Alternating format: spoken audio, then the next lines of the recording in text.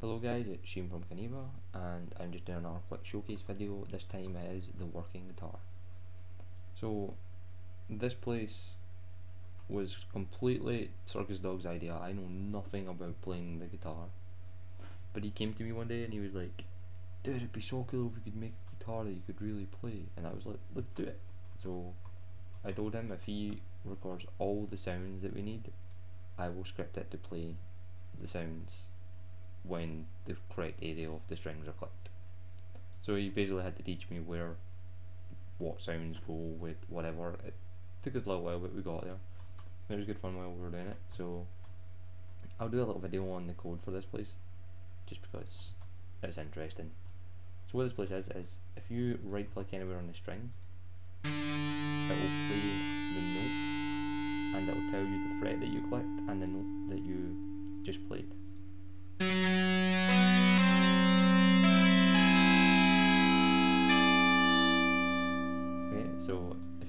Come down here and you click here, you'll get closed, which means it's not played.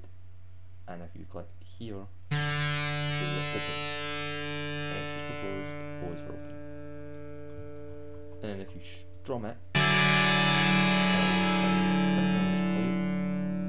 in the order it's played. So in the sixth string, it was not played because it's closed.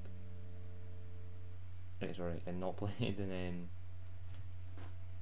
fifth string was F sharp, fourth string was D open, the first string was E, second string was D sharp, uh, G sharp, sorry, first string was D. And if you actually set up a chord, that's what these are for. If I set up one of these, I'm not even going to attempt it, but if I set up one of these, then strummed it, it would tell me the name of the chord that I played, say it was an E major or whatever it was. It would tell me exactly what chord I played. He wanted this so that he could teach people how to play the guitar on Kaneva, which is cool. And he did teach me this on the waterline.